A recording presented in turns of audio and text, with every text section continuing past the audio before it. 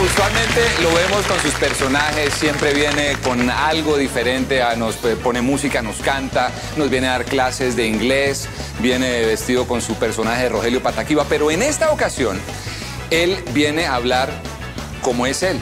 Creo que pocas personas han tenido la oportunidad, ya en el pasado lo ha hecho un par de veces, viene con una rutina que habla de él mismo y va a hablar de gente amargada. Aquí está Hassam con I Am Hassam. El aplauso para Hassam.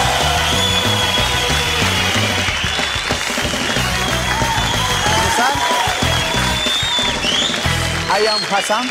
Hassan, H-A-S-S-A-M.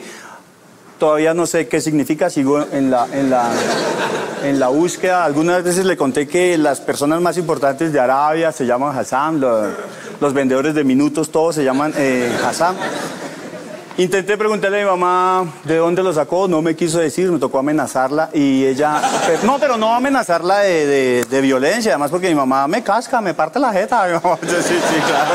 Mi mamá es de esas que uno, por más grande que esté, su deñazo le cae en la cabeza. Ella es una mujer muy, muy dura, un saludo para mi mamá que está allá sintonizándonos. Y eh, pues nada, además porque yo crecí en un lugar pues al sur de Bogotá y tú sabes que el sur de Bogotá es el sur de Bogotá, o sea, ese es el, feñero allá. Sí, y bien, y bien, perro, bien, juega.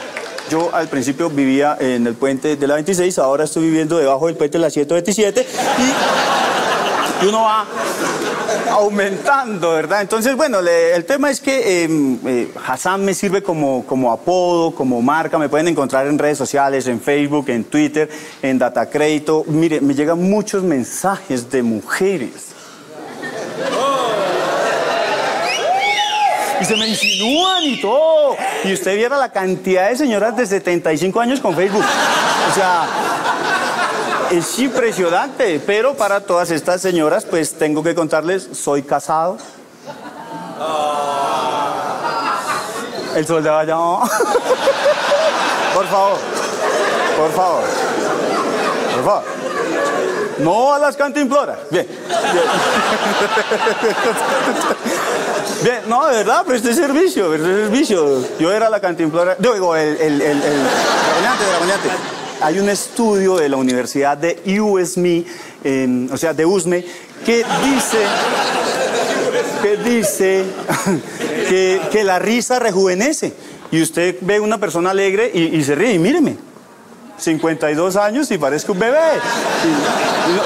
Y- la risa es, terapéutica. Cuando usted se ríe, ejercita 15 músculos. Bueno, 16 porque algunos apretan la nalga así para reírse y es, y es- rico. Y la risa también tiene estratos. Todo en Colombia tiene estratos. La risa también. Está, por ejemplo, esa risa bonita así de juro.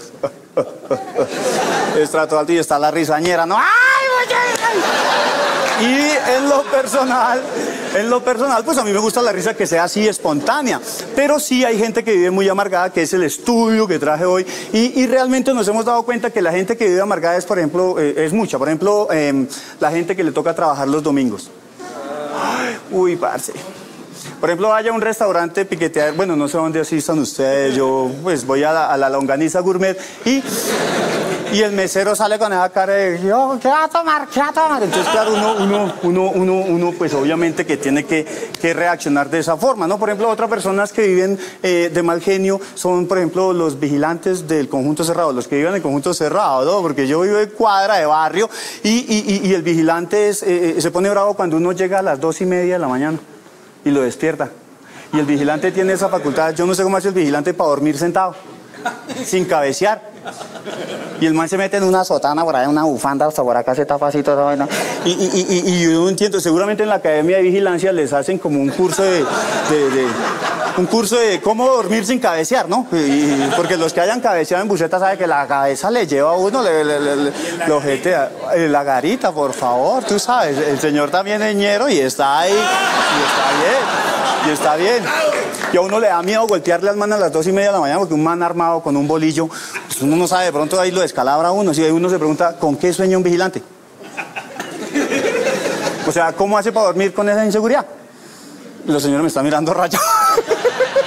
No, pero es que son estudios que se han hecho. Y, pues eh, el último caso de la gente que vive de mal genio son, por ejemplo, los taxistas. No todos. De cada 10 taxistas, 11 se ponen bravos cuando uno no va para... Y uno para el taxi, uno con esa carita, "Ay, señor, favor, y me lleva hacia el centro. Y el taxi, no, es que tengo que entregar. Vaya, entregue el carro. Y es, es- es muy complicado. Entonces, el consejo del día de hoy, señoras y señores, es que por más problemas que usted tenga, porque en un país donde ocurren tantas cosas sin sentido, pues lo más importante es no perder el sentido del humor. Dios los bendiga. I am Hassan. Nos vemos en una próxima oportunidad. Búsquenme en Facebook.